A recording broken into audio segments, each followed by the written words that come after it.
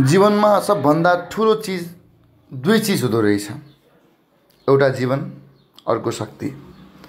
जबसम्म मानिसले आफ्नो जीवन के हो त्यो कुरा बुझ्न सक्दैन तबसम्म उसको त्यो जीवन बेकार छ त्यो जीवन उसको धिक्कार छ त्यो जीवन उसको लागि जीवन के सबभन्दा नमिठो र असभ्य जीवन बन्नेछ मैले प्रत्येक कुरा तपाईँलाई यो लाइभबाट भनिरहँदाखेरि तपाईँको अहिले होस उड्नेछ तपाईँले सोच्नुहुनेछ।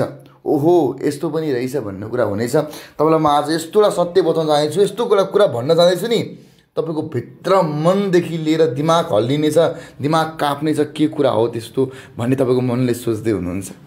देश कतातिर जाँदैछ? देश कतातिर जाँदैछ? आज भोलि प्रत्येक फेसबुक खोल्नुहोस् युट्युब खोल्नुहोस् एउटा एउटा मान्छे मरेको घटना आउँदैछ कोही काहीँ मऱ्यो कसले छोरीले बलात्कार गर्यो बाउ हरायो आमा गायब भयो आमा काटियो छोरा काटियो नवलपरासीमा हावाहुरी आयो भूकम्पको धक्का बजाङमा आयो पश्चिममा आयो उत्तरमा आयो। तर मैले यो कुरा त पहिले भनेको थिएँ नि। आउँछ हावाहुरी चल्छ मजाक उड्यो हावाहुरी चल्छ असार कसरी भन्नुपर्छ? भन्ने भयो। भूकम्प आउँछ भने मान्छेले पत्ताउँदै पत्ताएन हिजो रामेछापमै गयो बझाङमै गयो कहाँ जान्छ ठुलो आउनु त बाँकी नै छ भर्खरै त सुरुवात हो। यो त भर्खर जिस्किने कुरा हुँदैछ यहाँ त केटाकेटी खेलाइ हुँदैछ। होइन? सुन्नु बाँकी छ। सुन्नुहोस् तपाईँहरूको सबैको होस उठ्छ होस् होस् होस उठ्छ। ध्यान दिएर मेरो लाइभ सुन्नुहोस्। म अनुहार देखाउन अहिले असमर्थ छु अहिलेको अवस्थामा। त्यही भएर नि म तपाईँलाई मेरो आवाजबाट भन्दैछु। अचम्म छ संसार गोलो छ पृथ्वी गोलो छ पाप बढ्यो पाप बढ्यो पाप बढ्यो। कति भन्नु? पाप बढ्यो। कति बोल्नु हो कति कराउनु मिडियामा? आएर मलाई पागल भन्न थालिसक्यो मान्छेहरूले। म पागल होइन। मैले बारम्बार भनिसकेको छु। पाप बढ्यो आमाले छोरा काट्यो आफ्नै छोराले आफ्नै आमालाई बलात्कार गर्यो पाप धेरै बढ्यो शनि र बृहस्पतिको मिलन हुने समय आयो। अब हुन्छ। केही नराम्रो हुन्छ। मैले भने मैले बारम्बार भने मलाई प्रत्येक मिडियाले सोद्धाखेरि अर्जुनजी अब कार्यक्रमको अन्त्यमा के भन्न चाहनुहुन्छ? भन्दाखेरि मैले भने प्लिज नेपालमा ठुलो दुर्घटनाको योग बनिरहेको छ। ठुल्ठुलो राष्ट्रिय नेताको निधन हुन सक्ने अवस्था बनिरहेको छ। होसियार हुनुहोस् होसियार हुनुहोस् होसियार हुनुहोस् होसियार हुनुहोस्। कसैले पत्ताएनन् तर आखिरमा त्यो घटना गएर घटेरै साह्रो। मैले जे हुन लागेँ त्यो प्रत्येक कुरा मैले केही समय अगाडि नै भने महिना समय तोकेर भने दिन समय तोकेर भने यति गतेदेखि यति गतसम्म भने मेरो शक्ति मेरो सामर्थ्यले जतिसम्म भ्यायो मैले त्यो कुरा भने। अब तपाईँको आज होस उर्छ एउटा कुरा सुन्दाखेरि अचम्म मान्नुहुन्छ। अब तपाईँलाई म बताउँछु बाह्र र उन्नाइसको कथा। बाह्र र उन्नाइसको कथा। सुन्दाखेरि अचम्म लाग्छ बाह्र र उन्नाइसको पनि केही कथा होला तर बाह्र र उन्नाइसको एउटा कथा छ। जुन कुरा कथा तपाईँले सुन्नै पर्छ तपाईँले सुनेपछि तपाईँको होस उठ्छ। सक्नुहुन्छ सक्दो सेयर गर्नुहोस् अगाडि पढाउनुहोस् र तपाईँलाई म आज बाह्र र उन्नाइसको एउटा कथा सुनाउँछु। नेपाल र भारतको सन्धि टुट्यो। कहिले? मार्च बाह्र गते। नेपाल र भारतको सन्धि इन्डियामा कहिले टुट्यो? मार्च बाह्र गते। भूकम्प कहिले गयो? वैशाख बाह्र गते। इराकमा कतिजना मान्छे मारियो? बाह्रजना मान्छे मारियो। यो तिनवटा बाह्रमा एउटा कथा थियो।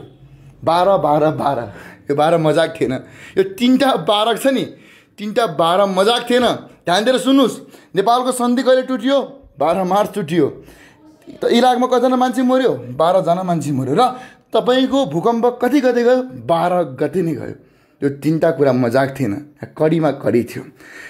राजाले नारायण यदि हत्याकाण्ड कहिले घट्यो उन्नाइस गते घट्यो राजाले सिरपेज कहिले गयो खोल्यो माघ बा माघ उन्नाइस गते खोल्यो। उन्नाइस उन्नाइस कथा थियो। यहाँ हरेक कथा थियो। बाह्र बाह्र गतेको कथा थियो। उन्नाइस गतेको कथा थियो। यहाँ हरेक चिजमा कथा थियो। ए अबुजहरू ए मनुष्यहरू ए अबुज मनुष्यहरू तिमीहरूले ढुङ्गा पुजेर केही गर्दैनौ। ढुङ्गा पुजेर केही हुन्न। ढुङ्गामा भगवान् छैन यो कुरा लेखेर राख। भगवान् गोरखनाथले भन्नुभएको छ। जे गोरखले भन्नुभएको छ मान्छेहरू मूर्ख छन् मान्छेहरू ढुङ्गालाई पुजेर बसिरहेका छन् भगवान् म यहाँ स्वयं छु। गोरखनाथले भन्नुभएको छ भगवान् म यहाँ स्वयं छु गोरखनाथले भन्नुभएको गोरख मलाई मान्छेले पुज्दैनन् तर मान्छेले ढुङ्गा र मूर्तिलाई पुजिरहेका छन् जसको अर्थ नबुझिकन। होइन? मलाई मजाक उडाइयो लेखियो मलाई अनेक शब्दको कुराहरू लेखियो। ठिक छ मान्छेले मलाई पागल भनोस् बौला भनोस् फटा भनोस् ढाका भनोस् चोर भनोस् भाते भनोस् उसको मस्तिष्क जति छ उसको पावर जति छ उसले त्यही बोल्छ। किनकि जो जस्तो छ उसले त्यस्तै देख्छ। संसारको यो नियम हो। मैले एउटा अर्थ पनि दिएँ एउटा इन्टरभ्यूमा सोधियो। धर्म हुन्छ इस्लाम छ मुस्लिम छ बुद्धिस्ट छ क्रिस्चियन छ। मैले उत्तर दिएँ सबै भगवान् छ। मलाई लेखेर आएको थियो। ओम ट्वेन्टी फाइभ उर्दू अक्षर त्यहाँबाट तपाईँको सुतेको काठ बनिएको थियो। ओमको अर्थ हिन्दू पनि छ तपाईँको चाहिँ ट्वेन्टी फाइभ अर्थ तपाईँको क्रिस्चियन पनि छ तपाईँको इस्लामको अर्थ मुस्लिम पनि छ र त्यो जुन सुतेको जुन काठ सिख पनि छ। मैले यो प्रत्येक शब्दको अर्थ दिएँ तर मान्छेले बुझ्न सकेन। किनकि हामी मनुष्य त होइनौँ मान्छे हो पाप लोभ मोह भए सबै कुराले भरिएको छ। किन मान्छेहरू अर्थ बुझ्दैनन्? किन मान्छेहरू ढोङ्गीलाई बुझ्छन् ढोङ्गीले गरेको भविष्यवाणी मिल्दैन अनि मजाक उठाउनु थाल्छ युट्युबमा आएर अनि तपाईँको बदनाम गर्न थाल्छन्। यसले यसो भन्नु त्यसले त्यसो भन्यो। आओस् न मसँग सात पुस्ताको नाम भनिदिन्छु। सात पुस्ता कहाँ जन्मेको कहाँ छ त्यो पनि म भनिदिन्छु। त्यति मसँग शक्ति र सामर्थ्य छ। कुनै मान्छेले आर्ट गरेर नआए हुन्छ। मलाई कमेन्ट गरेर तपाईँले कुछ कमेन्ट गर्नु पर्दैन। मसँग स्वयं आएर भेटे हुन्छ अनि आएर भने हुन्छ। म फटा हो ठग हो डाका हो त्यो कुरा तपाईँको चाहिँ होइन? आएर मलाई भने हुन्छ।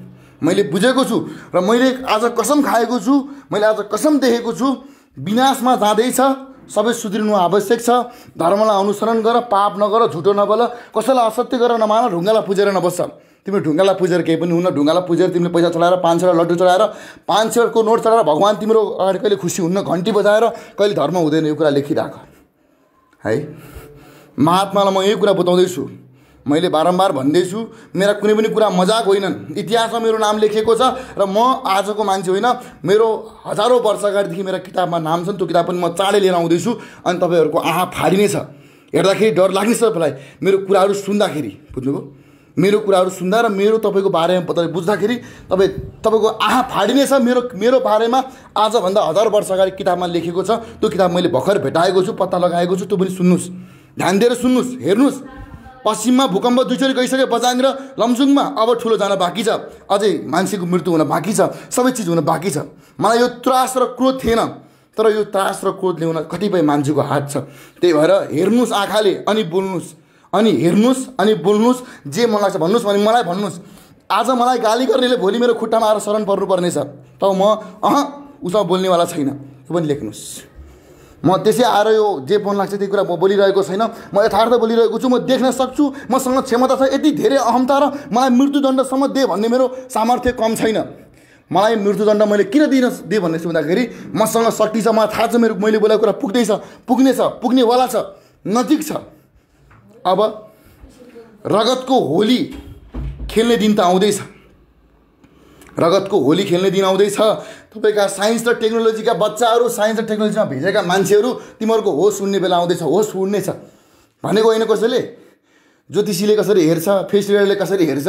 शक्ति के हो म देखाउँदैछु। ढुङ्गीहरूको चिज म बताउँदैछु। मैले भनेको छु मेरा मेरा धेरै मेरा भविष्यवाणीहरूले ठुल्ठुला तान्त्रिक ज्योतिषी र माताहरू फ्लप खानेछन्। लेखेर राख्नु किताबमा। डायरीमा पाइस नम्बर आजको मिति समेत हालेर राख्नु।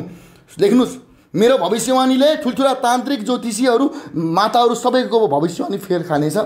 मेरो नाम इतिहासमा लेखिनेछ। मैले यो मजाक गरेर भनेको होइन।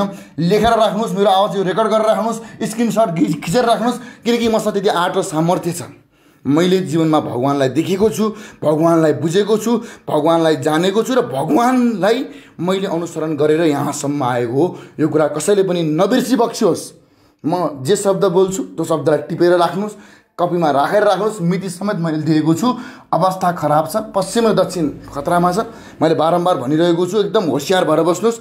भन्दै भन्दै आजको लागि म यो लाइफलाई म यहीँ काट्छु। मैले ठुलो आवाज गरेर म घमण्ड गरेर रिस गरेर आएको होइन। यो कुरा हजुरले बुझ्नुहोस्। तर यथार्थ भन्न आएको जब मान्छेले सुमधुर र मधुर आवाजमा बुझ्दैन भनेपछि मैले यो आवाज बोल्नुपर्छ। मैले डर त्रास कसैले देखाएको होइन यथार्थ बोलेको। यदि कसैलाई डर त्रास देखाएको लाग्छ भने ठिक छ। र यो अर्को कुरा एकजना सर यहाँ लेख्दै हुनुहुन्छ डर त्रास नदेखाउनुहोस् प्रभु मर्ने परे मरौला सतीले सरापेको देश। तर यो गलत हो।